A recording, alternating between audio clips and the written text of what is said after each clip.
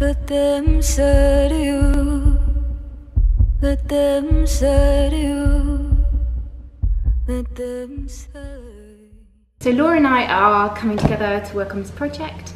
Um, dance, theatre, circus, um, but not circus in the traditional sense, more in uh, an expression.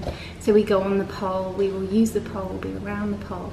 Um, because we need to, or because it's an expression, a physical expression of an emotion or an interaction. New emerging circus is not so supported, not so recognised. There isn't so much investigation and um, exploration creatively.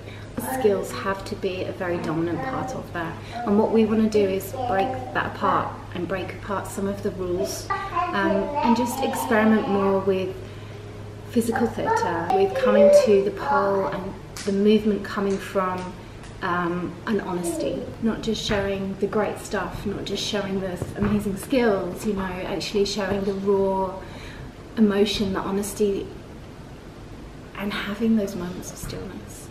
The work that really is important to me is the work that moves me and I can connect with on a deeper level. So it's not just the body, it's, it's more of like the soul and the body coming together. And that's the work that I love to explore.